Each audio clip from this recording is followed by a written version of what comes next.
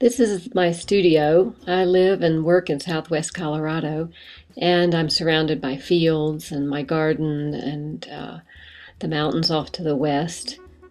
The short walk that I make every day from my house to my studio often influences whatever I'm working on um, or beginning for the day. Um, I found that particularly true this past fall. It was exceptionally beautiful and it really um, influenced my work in a lot of uh, dramatic ways.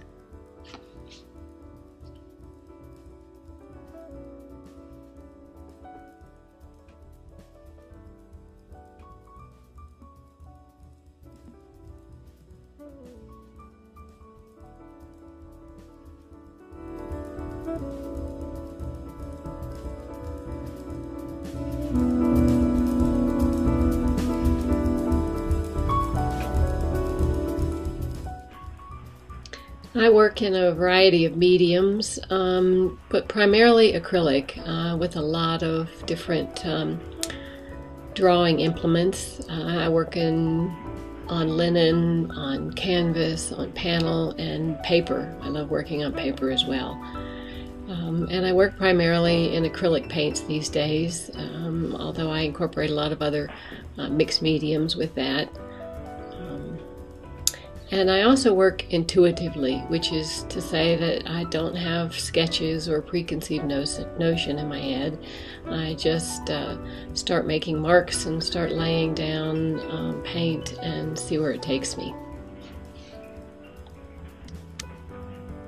I often begin my paintings by um, making line and mark on the surface. Um, it's my favorite part of the process. It's free and full of potential and possibility, and it's not yet weighted down by the decision making that enters into it later on.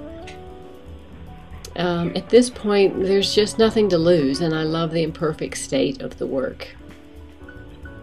I work back and forth into the piece um, with different drawing materials and um, and then sort of develop the line work with uh, gel mediums and pushing it around on the surface uh, until I get some interesting uh, marks and um, that's often how I start the work. And then I um, move on to laying in passages of color um, building a little more composition, um, setting more of a tone for the piece.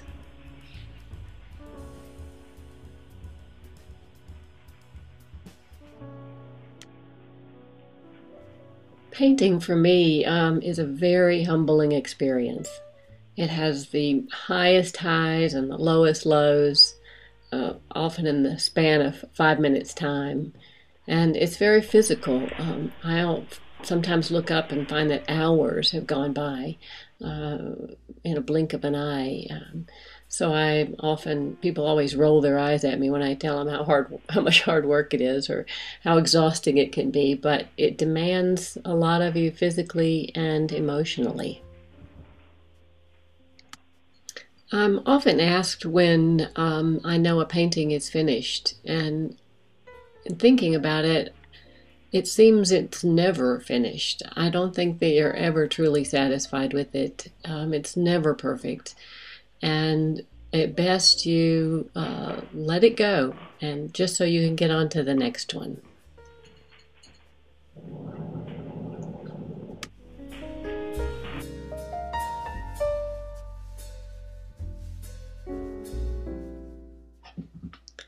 I've been particularly interested in um, the naturally abstract qualities in nature recently.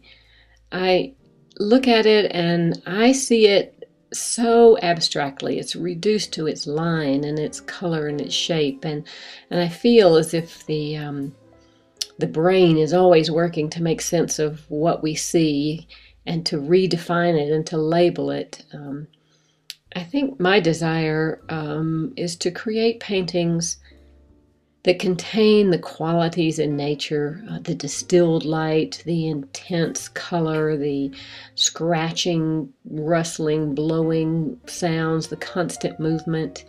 Um, but I hope to represent or reassemble the, all of those pieces um, in a puzzle that doesn't quite make sense. So that basically what happens is you are sort of forced to to look at it in a purely abstract manner. And you no longer feel like you have to know exactly what it is that you that you know intrinsically or internally what it is. And you can just appreciate the visual qualities um, for all their beauty